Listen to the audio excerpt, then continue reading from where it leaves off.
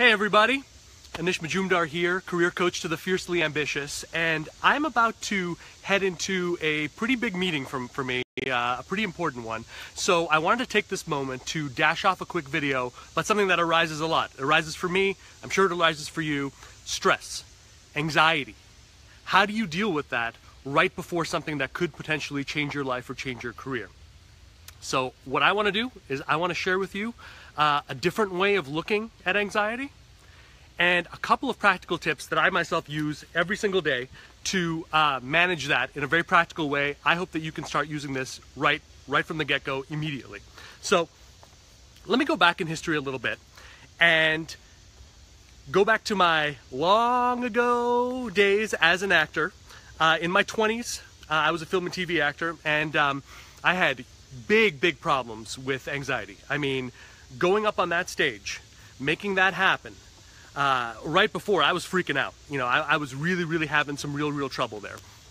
So one time a teacher saw me, you know, just just freaking out, like in my in, in my bubble, physically just sort of in here, you know, just locked in, uh, and uh, he said, Anish, anxiety is energy. Stress is a kind of energy. It's up to you whether you decide to look at that as an obstacle that you've got to like push through or a friend. Something that you can ride. Ride the wave. Ride the wave, he kept saying. You know, when you feel anxious, ride the wave. In fact, you know, actors they get in trouble not when they're feeling anxious. In fact, the best actors out there, I promise you, they're dealing with that anxiety. They're dealing with that stress. Where actors fall into trouble and where we all fall into trouble is when the stress falls away, when you don't have that stress, because the stress is the fuel that allows greatness to shine. If you don't have that, there's something wrong. And probably, when it comes to your career, if you're not feeling some degree of stress, some degree of uncertainty, some some feeling that it's not going to work, then probably you've set your your target too low. You got to shoot higher. Okay, there's got to be some risk of failure in order for this thing to have any meaning. And um, and so I learned that as an actor, you know, that, that, that you've got to have that. You've got to have that, that, that, that energy. But I know that when you're dying, you know, from uh, anxiety and stress and nervousness, riding the wave is not ex- always exactly the perfect, uh, the perfect, hi Christy, is not, is not, is not always the perfect uh, solution there. So here's the thing, all right? Tip number one, this is just something I use, all right, when, when I'm feeling really stressed, right before something important happens Stay physical and active right up as close to the actual time of the meeting or the event as you can. In other words, a big problem that people make is they say to themselves, okay, I got this thing coming up, right? I got this big presentation coming up, this big meeting, this thing, there's a lot of money on the line here. Uh, I'm going to prepare. I'm going to analytically prepare um, for uh, you know, you know, you know what's coming and, and, and what I'm going to do. And so they're taking notes. They are uh, struggling with it. They're thinking. They're using that part of their brain all the way into the meeting. And the problem with that is preparation only takes you so far. Okay, when the game needs to be played, preparation needs to end. Which means that when you get to that point where you are ready to go, let all the preparation go all right? Stay physical, walk around, hit the gym, do whatever you got to do, all right? But when the time comes for this thing, you can't be in preparation mode. You got to let everything that you've learned go, and you've just got to say, I'm improving now, all right? I don't know where it's going to go, and I'm going to hope that what I've prepared for is going to is going to tide me through.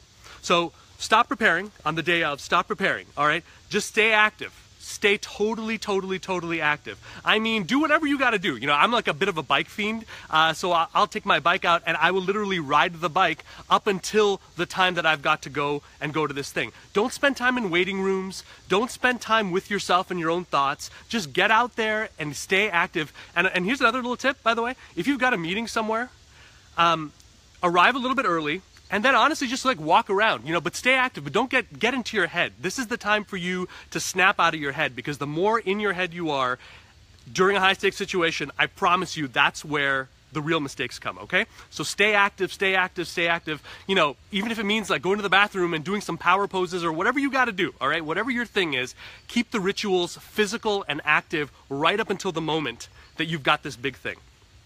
Here's the second thing a little mantra for you, and I promise you, those who know me, I am not a, a deeply, you know, psychological guy. I don't really believe in that stuff in, in a lot of ways. I'm a practical guy, but this has helped me.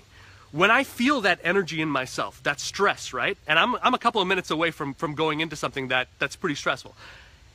When I feel that, now is the time for me to return to what my teacher said. And he said, ride the wave. When I feel that energy, this is not something that I'm gonna I'm gonna try to defeat. This is not something I'm trying to avoid. And I'm not gonna certainly go into a meeting and stuff like that feeling like I've got to hide that I that I don't have that. I feel this, and this can either manifest itself as stress or it can manifest itself as the energy that takes me to a whole other level. And that is really, really, really, really key because you've got to learn that this energy can be harnessed. And this energy, in that moment, when you're face to face, can be the thing that takes you to a whole other level. Let me give you a quick example to wrap this up, okay?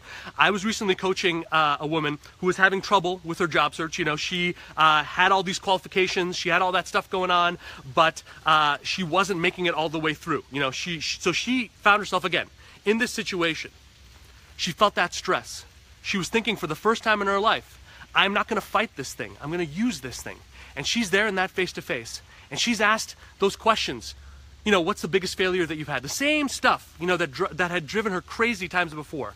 But because she was in that mode, for the first time, she answered in a way that was so deeply honest. It said, you know, here's a situation where I really did not get along with someone. You know, we were not on the same page. We had two totally different uh, ways of looking at this thing. And she honestly talked about how she made that work. She honestly talked about the fact that not everything does work. And we don't live in a perfect world, you know? And you don't live in a world where you can be magically stress free. It's all right, it's okay. But she used that energy to take her to another level. And so please know this, all right? There is no greatness without great stakes. Stakes are the thing that you need. So don't fear that fear, all right? Use that fear and let it know that it is taking you. It's sending you a little signal, okay? It's saying, now is your chance to hit something way higher. Let me know what worked for you. What are your what, what's your what's your anti-stress regimen? I want to know. Hey, Robert, uh, what is your stress? What is the thing that drives you crazy, and what do you use to uh, defeat that? I'd really love to know. Thanks, guys. I'll talk to you soon.